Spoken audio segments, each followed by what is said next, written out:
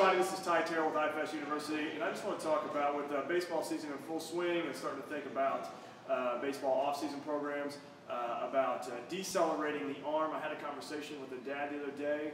A kid had an elbow problem, and uh, they were talking about, yeah, we've been doing a lot of low trap work, uh, you know, to help decelerate the arm, and and I thought, well, that's you know that's part of the you know the, the puzzle there. That's part of the equation.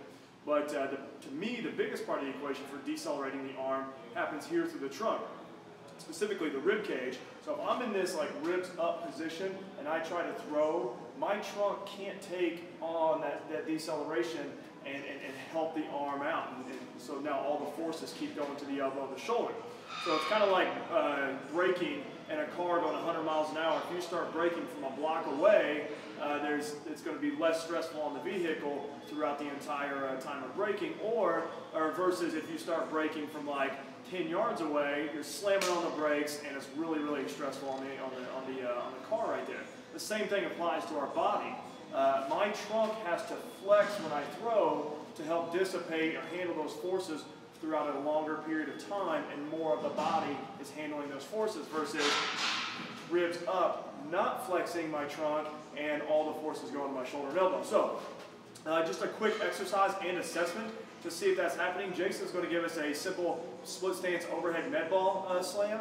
And what you want to see is a little bit of flexion uh, occurring uh, at the back to make sure that the, those ribs up front are flexing or going in and that's going to make sure the trunk can flex and you can finish downhill with your throw and dissipate the forces or decelerate the arm appropriately. So Jason's going to give us uh, three or four med ball slams right here and we'll check it out. You can see happens quick with his trunks flexing a little bit right there.